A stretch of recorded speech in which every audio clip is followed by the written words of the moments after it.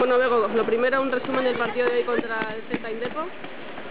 Bueno, era un partido un poco complicado porque Vigo venía de, una buena racha, solo había perdido dos partidos, perdido dos partidos de Salamanca y Valencia y entonces era un partido muy serio y un partido que, que bueno, que, había que ganar, ¿no? Ha sido, ha sido como esperábamos, un partido ahí de poca diferencia de puntos, pero, pero bueno, al final pues hemos ganado, que es lo que, lo que se esperaba.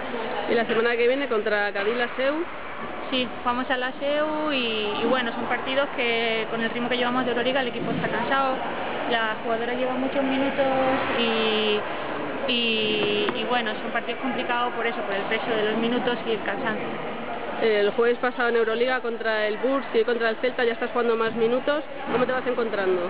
Bueno, aún me falta bastante para pa coger la forma física, ¿no? un poco la sensibilidad del balón, los cambios de ritmo, pero bueno, un poco de paciencia y, y bueno, poco a poco.